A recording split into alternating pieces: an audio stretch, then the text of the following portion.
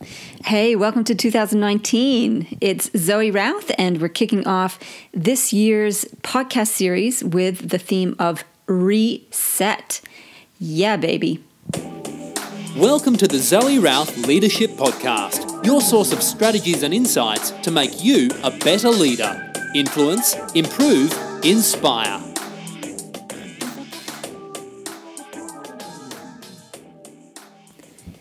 Welcome, welcome, welcome. It feels like a welcome back, even though plenty of you have gone back to work already.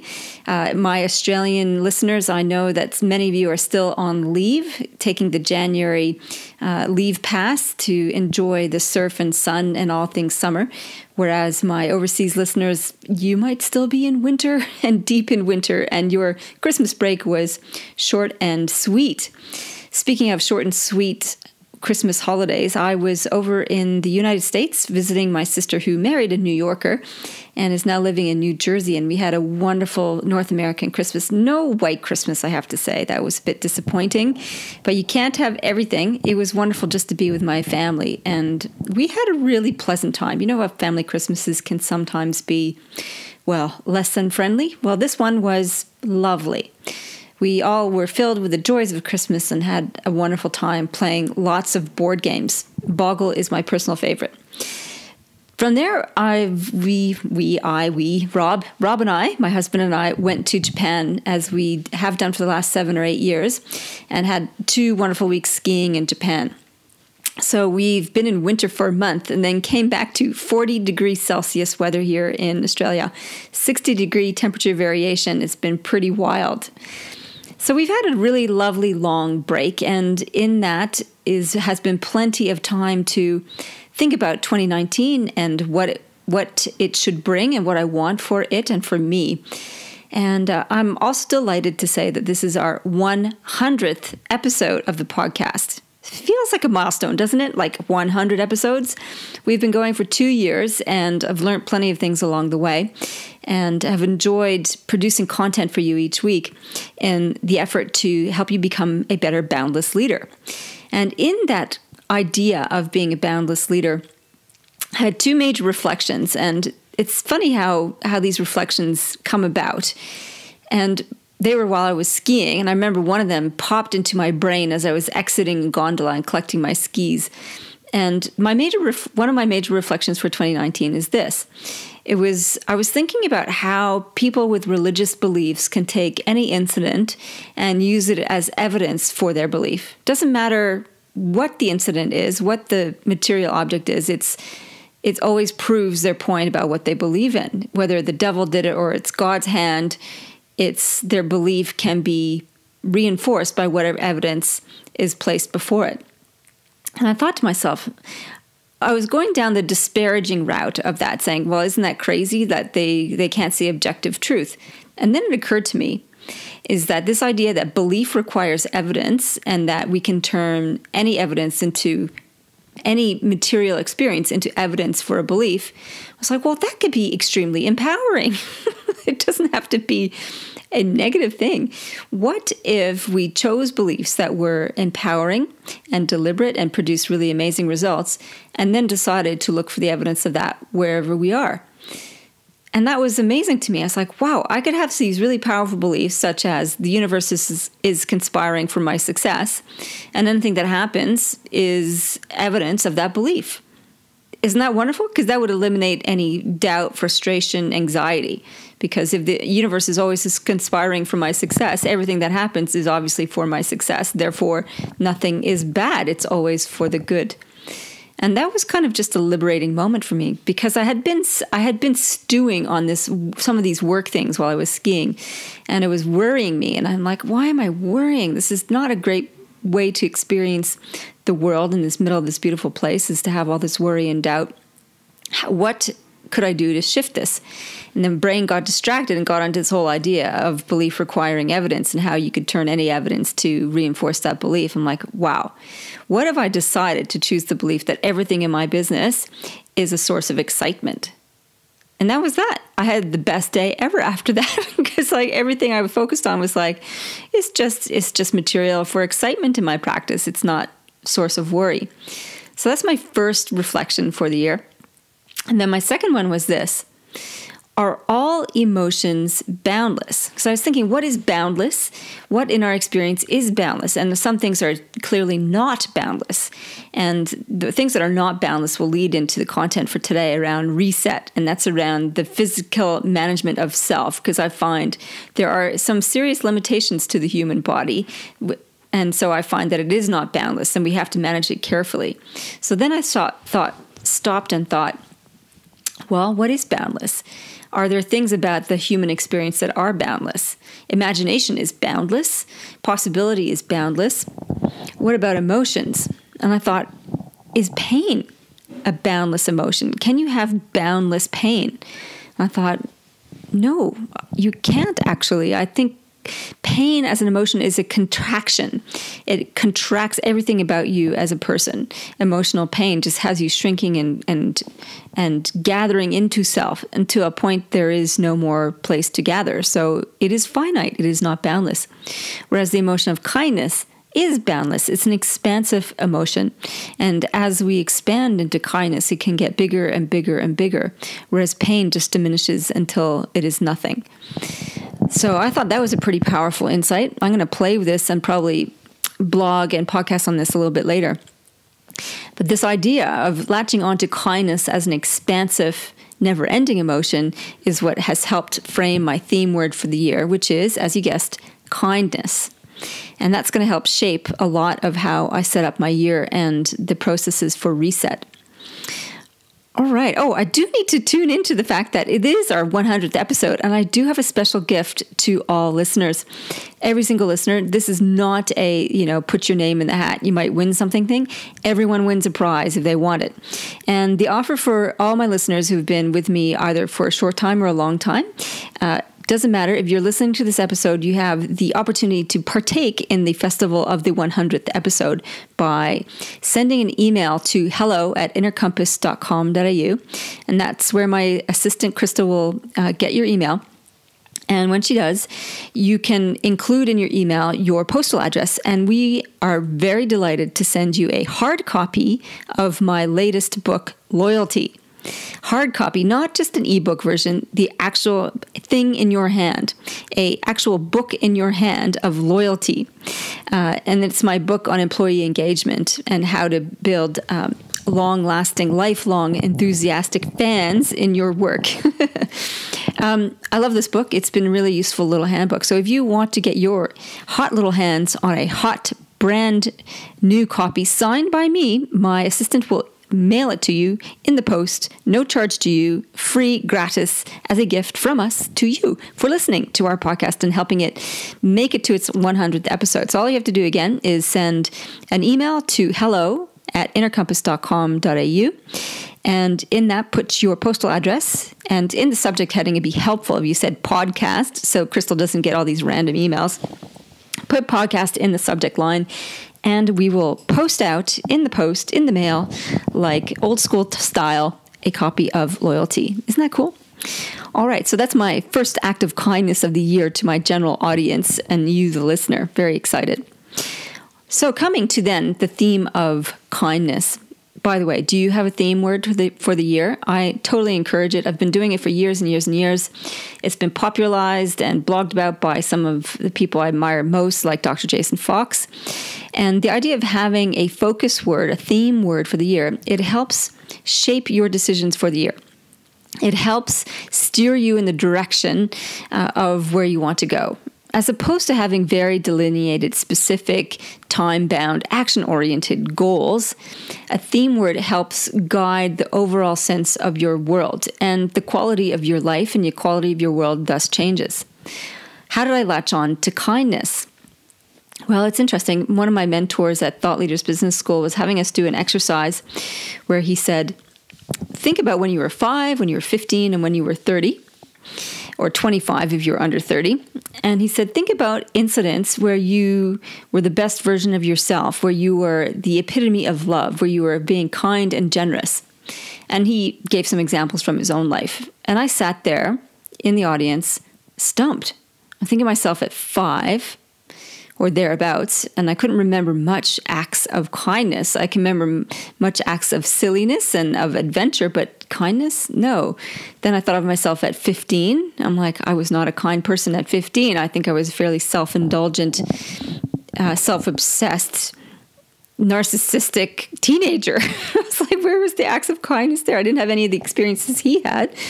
And then at 30, I'm like, what was I doing at 30? I was immersed in work.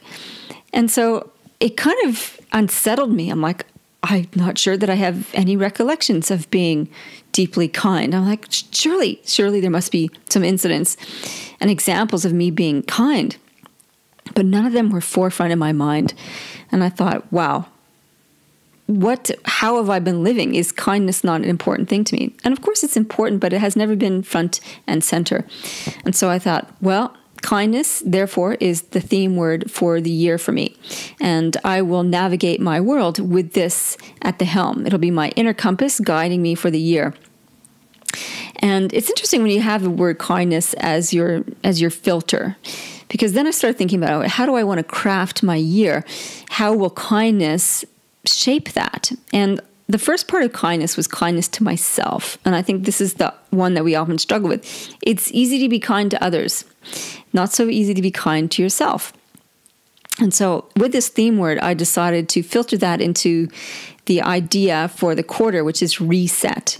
Come back to core principles, come back to basic principles of how to lead life, and with that, the overlaying flavor of kindness. So, in this episode, we're going to walk, I'm going to walk you through my strategies and my resources, and there's going to be a ton of them. So, heads up, the podcast notes where I'll list all the books and etc. will be at zoerouth.com.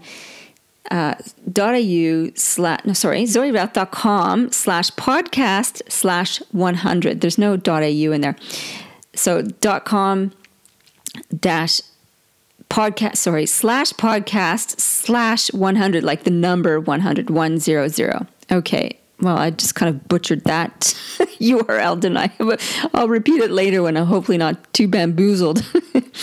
okay. So, with that, so we've got the theme for the year, which is kindness. We've got the theme for the quarter, which is reset, and we're looking at core principles. Within that, I had specific goals. And I looked at the goals I wanted to achieve. And the first one is to run a half marathon. The second one is a uh, trip to the Himalayas, and the third is to film my programs. Those are overarching goals for the year. So, as I looked at these, I wanted to filter them through the kindness lens. And I thought about this and I thought about why. Why these goals and how do I incorporate or make sure that they fit in with my kindness goal or my kindness theme. And the way that I did that is I asked, why am I doing these things? So, looking at the half marathon, uh, goal. And I've run half marathons before. My last one was 2015, so a few years ago now. And previously, to do things like marathons and half marathons, the the reason why I wanted to do that was basically to prove something to myself. It was set a goal, work hard, achieve it. These are not achievement goals for me anymore. So to run a half marathon is not is not like the first time I did it. I know I can do it. I know what the work entails to get there. It's not even about that. It's not even for bragging rights, though. Sure, if you run a marathon, hell, brag about it. I did. I've run six, trained for seven. I always add that caveat because the training is just as is harder often than the actual race. In any case, it's not about that. So, how kindness filters through my half marathon goal is this: I want this to be a celebration of health and living. Uh, two years ago, I had a, a major health setback with adrenal fatigue and I was dragging myself through the days and I've worked really hard to come back from that and to heal my adrenals and and to feel really full of energy again. So the half marathon is about celebrating that. It's about running for the joy of running and I started running again last year and it's been so wonderful each run has been delightful to be outside and just a celebration of being alive and healthy.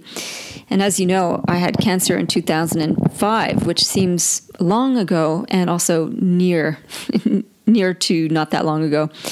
Um, so half marathon for me is about celebration of health and living. That's the kindness overlay. The trip to the Himalayas, which we're aiming to do in November, is a hiking trip.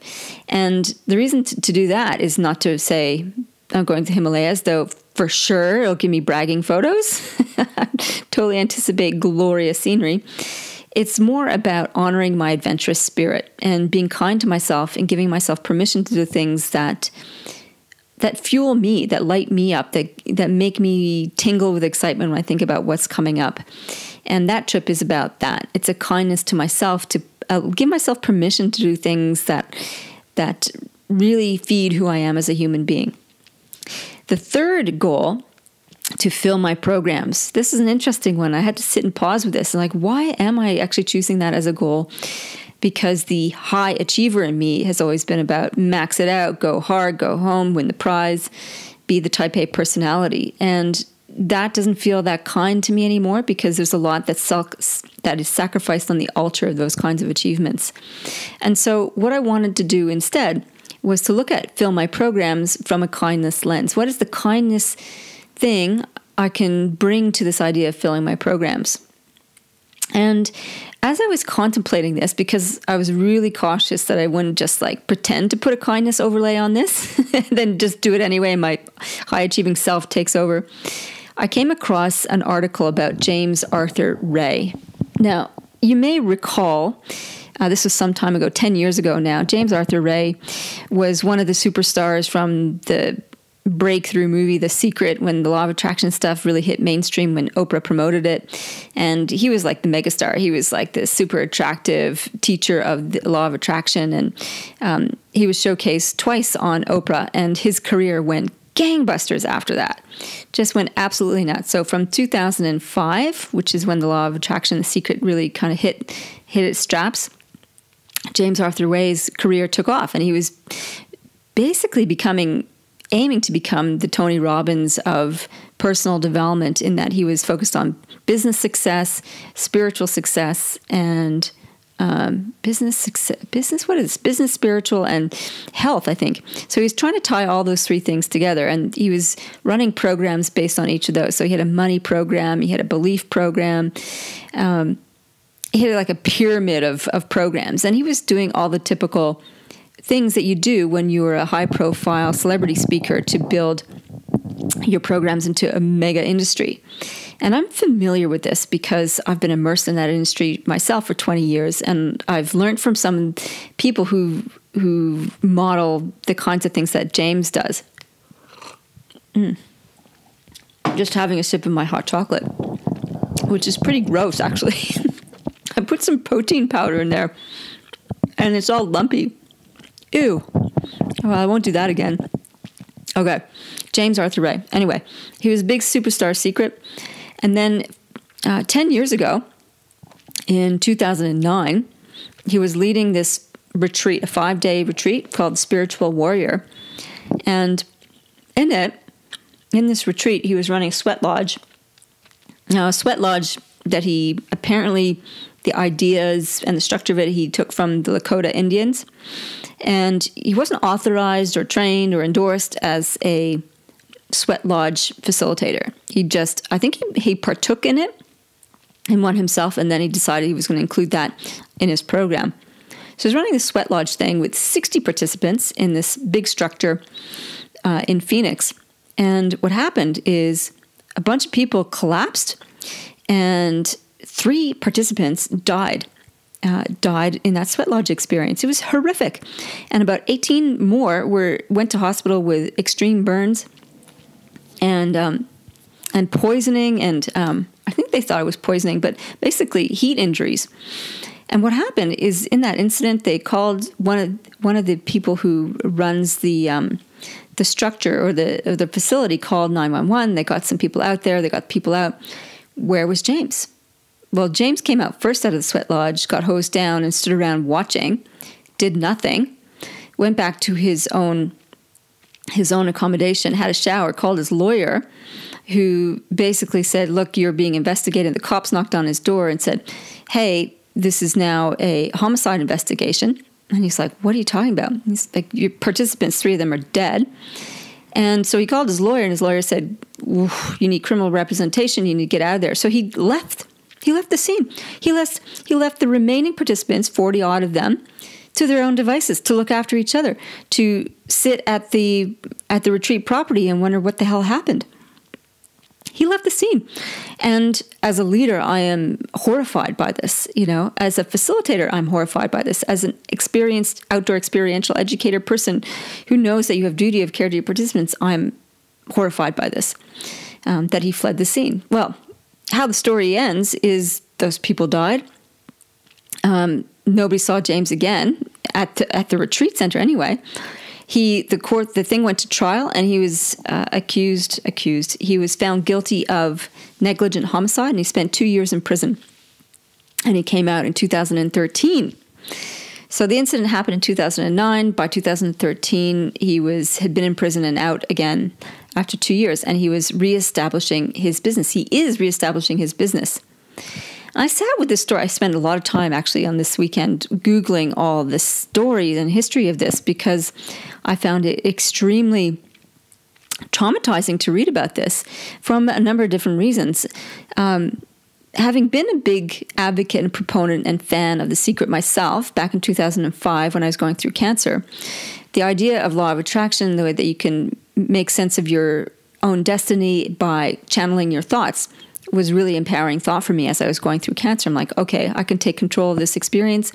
I can have it turn out to my advantage, to something that's good for me. I don't have to live in stress with this.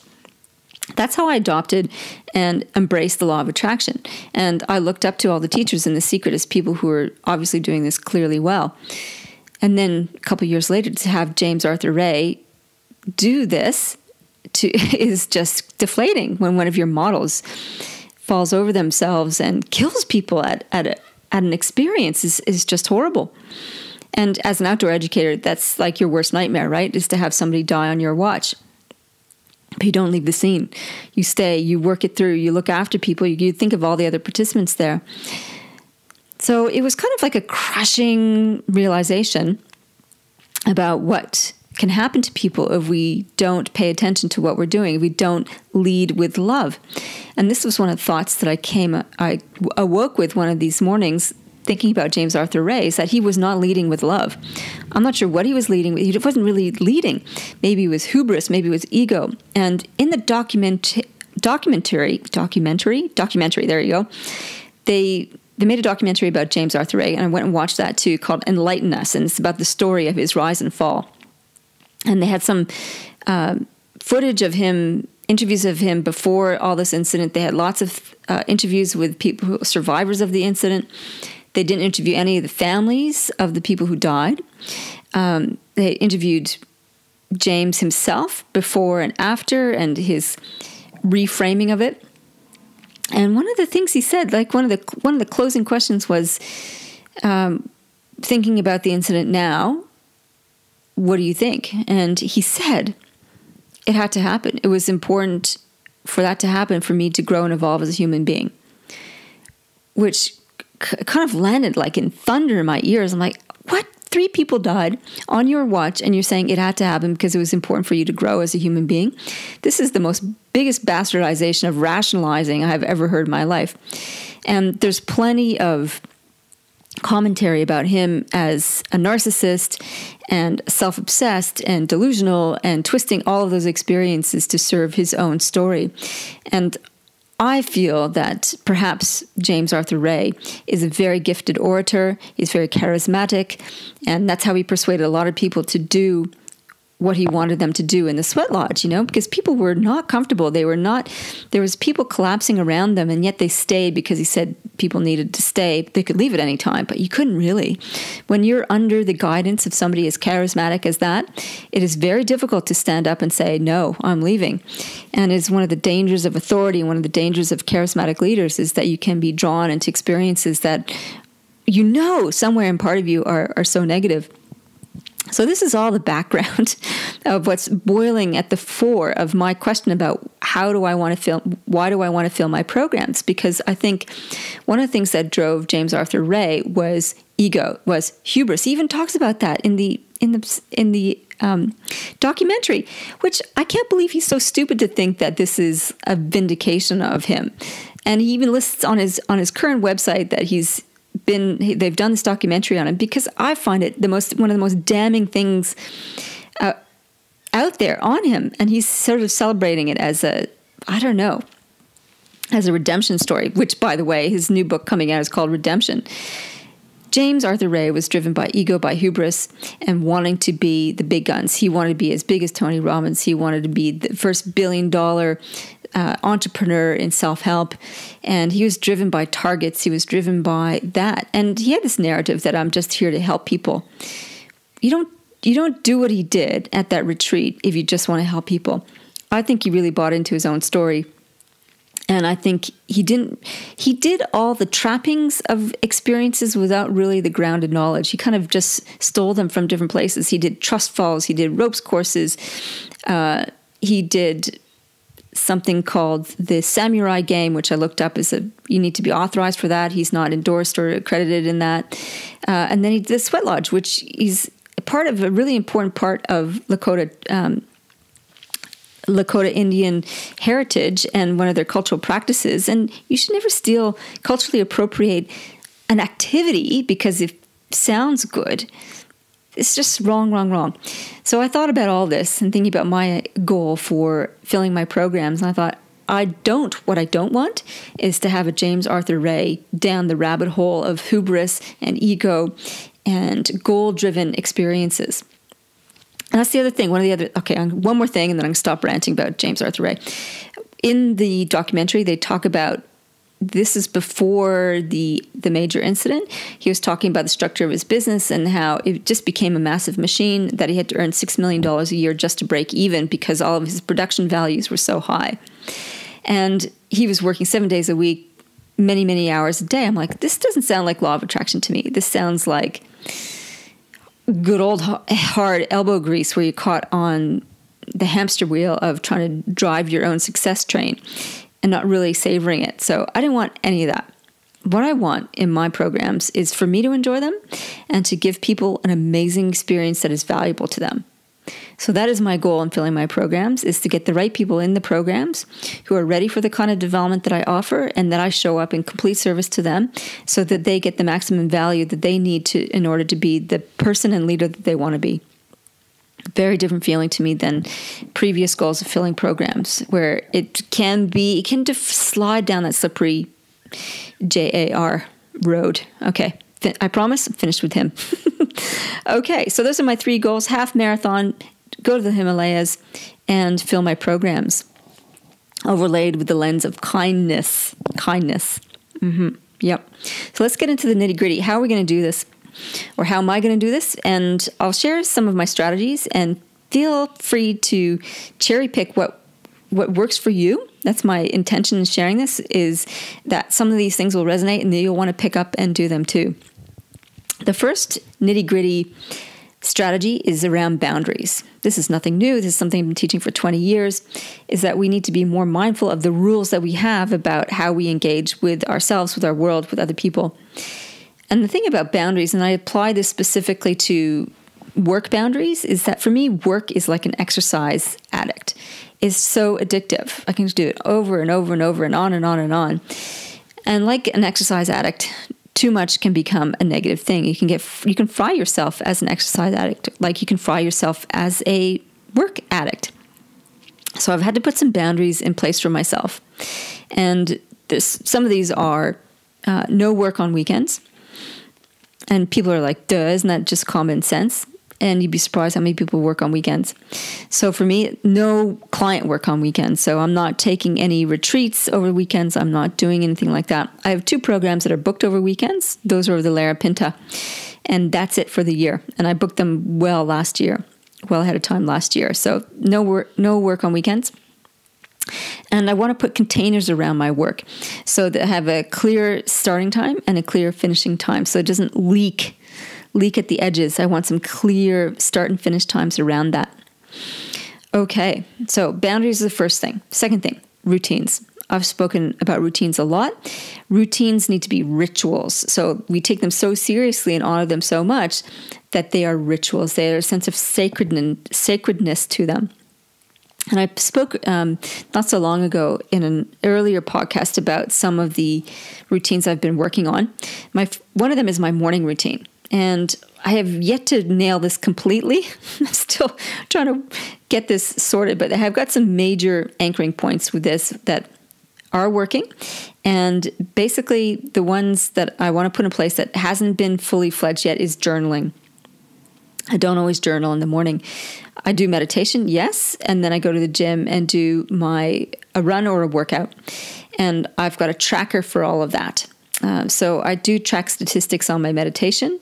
Statistics on meditation. That sounds very non-spiritual, doesn't it? what I mean is that I do self quantification methods as I meditate and I check my heart rate and my heart rate variability, which I've spoken about before. And that gives me evidence of the health of my physical well being, my my nervous system health. And that's really important to me considering I went through adrenal fatigue. So, meditation, uh, run and a workout, run or a workout, I should say. Okay, the other aspect coming back to that is journaling. And now there's two types of journaling that I want to, sorry, three types of journaling that I'm going to include in the morning. The first one is to centering back to my theme word of kindness, and that's to ask the question, How did I show kindness today or yesterday? Because if it's in the morning, how did I show kindness? How was I kind to myself? How was I kind to others? So, a little bit of a reflection around kindness. Another piece, which I got from somebody else, I wish I could remember where I read this, they had this wonderful habit of journaling, of collecting moments. So they'd reflect on their day and just pick out a moment that was special for that day. And at the end of the year, they had 365 moments they could go back and reflect on. And with these little traces of moments, they could really savor a year well lived. And I really loved that. Having written the book Moments, I thought that's a pretty good one. So I'm going to have a one moment per day collection. And it's like a bullet journal style of journaling where you just one day, one dot point, one moment. There you go. It's not onerous. It only takes a moment. Haha. and you can it's an accumulation phase.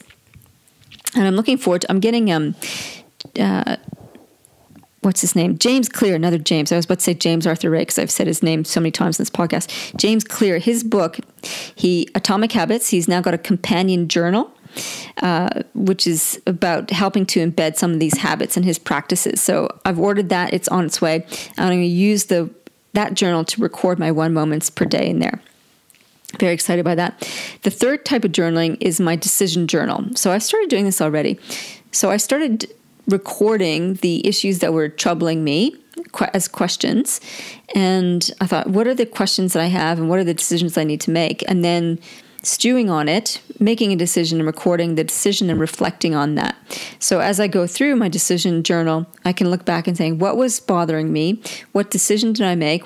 How did I make that decision? And what has been the outcome? And I got this idea from the book, The Decision Checklist by Sam Kyle. Really good book.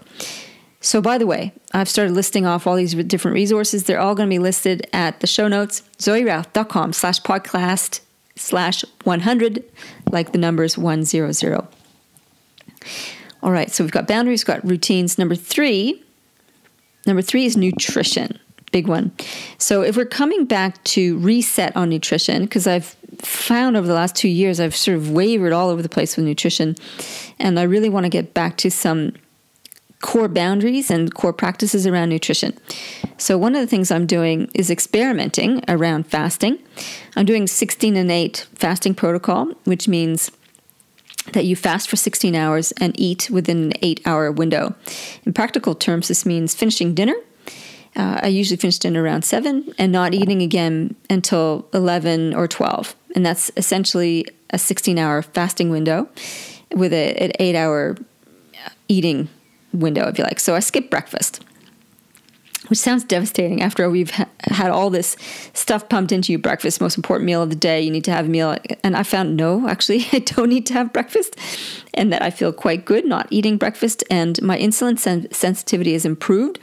I don't get big crashes anymore. I don't get the, I don't get hangry anymore, which is pretty big. For those of you who've ever been around me when I've been hangry, it's not good. That's gone with this 16-8 fasting protocol. The other thing I'm doing with nutrition is carb cycling. What that means is that uh, I will eat low carb uh, throughout the week and then have a refeed on Saturday, which is the day of my long run. So I'm eating low carbs for most of the week, and then I bump up the carb consumption on Saturdays after my long run, which is what I need for training for the half marathon. Um, I'm also going to include a weekly 24 hour fast. Well, this stage is weekly. We'll see how we go. And when I do that is so I'll do a refeed on Saturday, which means eating lots of carbs and um, enjoying food that I haven't necessarily had for the week. And then Saturday night after dinner, I fast for 24 hours. And so I don't eat anything from after Saturday dinner until Sunday dinner. So Sunday is a rest day. And I chill out, drink lots of fluids, lots of herbal teas, lots of lemon water, and chill out. So there's no huge caloric requirement or physical requirement for me on that day. And I'm also intending to do an infrared sauna uh, just down the road at this new center that has infrared sauna stuff and cryotherapy and all sorts of um, fun stuff. Never done infrared sauna before, so I'm literally looking forward to that. It's a really good detox process. So Sunday is rest and detox and fasting. Okay, so that's my fasting protocol. In terms of nutrition, I'm basically sticking to a pescatarian. That's a fish eating vegetarian slow carb uh, protocol. And slow carb is from Tim Ferriss's book, The Four Hour Body, where he he eliminates most carbs except for slow carbs, which are things like lentils and legumes. And that lines up with my nutritionist's recommendation anyway. So, slow carb for the week, refeed on Saturday. Bonza. the other resource I'm using for a lot of the tips and tricks that you might want to get your hands on is called the Biohacker's Handbook. This massive tome. I have the ebook, and they just released it in print, and it's just huge. And it's full of really cool biohacks. Um, from mental fit, fitness to physical fitness to nutrition to exercise. A lot of great protocols in that. So I'll put a link to that for you as well. Okay. Along with all this nutrition and um, other routines, the I should mention the self quantification bits that I'm doing. I mentioned heart rate and heart rate variability. I'm also going to track my body fat, and I'm trying to get in to get a DEXA scan, which is a full body uh, body composition scan looks at your bone density and it looks at your lean muscle tissue, your hydration, a bunch of stuff. And I have the I have like at home scales that do that, but I want the full scan to make like to be more accurate with it. So I'm going to line that up and test that maybe twice this year. So that's going to happen. My Oura ring, which tracks sleep quality and, and so on, is showing up on Tuesday. I'm so excited. And that's to track sleep because sleep is my number four uh, protocol um, for manage for managing my reset. I've spoken about sleep before and on the podcast, and it's so important. And I've yet to really nail this. So nailing the sleep routine is going to be critically important. The Oura Ring's going to track the results of that. So my end of day routine to help with sleep is going to be 8:30 p.m. wind down, which means close computer, laptop, whatever screens, and start the end of day routine and that's going to consist of cold shower. Why a cold shower, do you say? I thought that too. But apparently, it helps with sleep. It also helps with toning the vagus nerve, which is helping with the uh, nervous system health. And it helps get you ready for, for sleep. So you have a cold shower and you get into your pajamas if you wear pajamas, and it lowers your body temperature, getting ready for sleep. Uh, go through my beauty routine, which is applying moisturizers, and put essential oils on the bottom of my feet. I use doTERRA essential oils. They're very high quality, and I use the lavender peace blend to put on the bottom of my feet, and you can just feel it soaking in. Um, bottoms of your feet are very um, absorbent, by the way. Like I didn't know this until I tried it. I put some lavender oil on there, and it just went, and you can feel it relaxing and activating really quickly in your system. So essential oils are part of that meditation. That's the piece I haven't been able to incorporate for my end of day routine. So I'm going to start small, five to 10 minutes, and incorporate that. So that means no more reading the iPad, which has been my downfall. I've been stuck with that forever. And so I have to take do some radical intervention on myself and move the iPad. Actually, I said I was going to do this. I haven't done it yet. I know, right? Don't even honor promises to myself. iPad is getting charged in another room. It does not come to bed. It is not part of my end of day routine. It is shut down at 8:30. Aha. So the question I have for myself is, well, when do I do my fiction reading? Because that's usually when I like to read, is right before bed.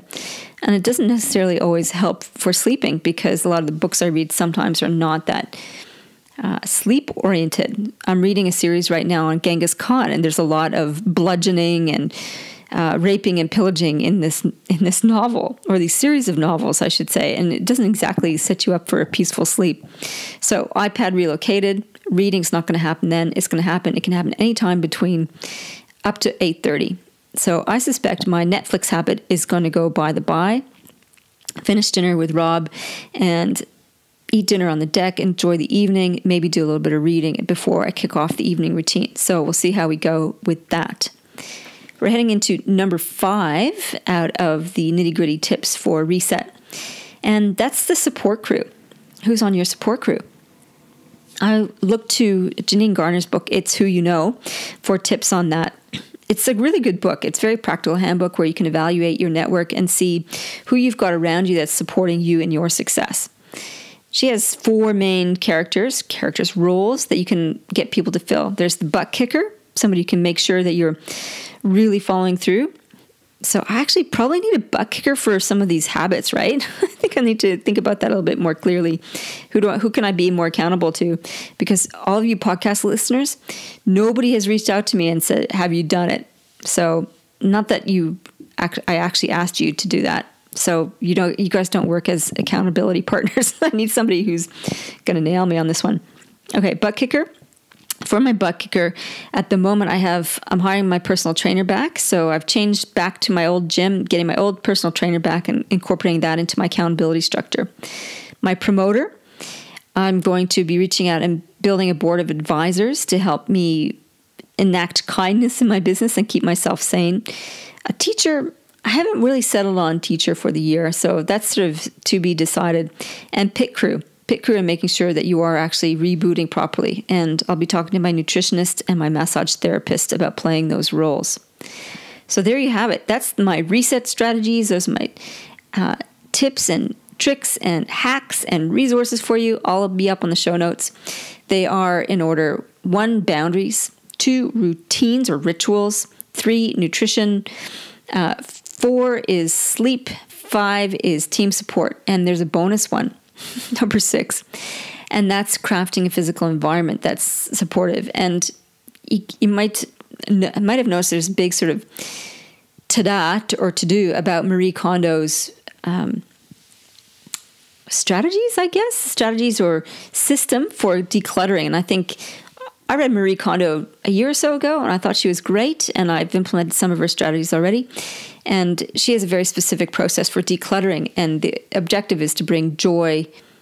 Everything in your in your world brings you joy is the caveat for decluttering, and she's got a very practical way of doing that. If you combine that with um, Ingrid Fetell Lee's book Joyful, which looks at the things in your environment that can spark joy, such as color and texture and different shapes and those types of things, you have a wham bam uh, U Beauty combination for crafting an environment that is supportive and wonderful. So I'll be slowly implementing those throughout the year as well. Okay, phew. Kindness. How was I kind today? Well, I was kind, kind to myself today. I had a fabulous workout had a nice sleep. Um, I actually did have a good night's sleep last night. And I reached out to some of my clients and sent them a nice message and just reminded myself to be kind to myself and to lead with love. Happy 2019. I'm glad you're here. I hope you have a brilliant start to the year. Remember, if you want a free copy of Loyalty, the hard copy kind, send an email to hello at innercompass.com.au with your postal address and with podcast in the subject line, and we will post out a copy of Loyalty to you. All right, folks, thanks for listening. Lead well, live well.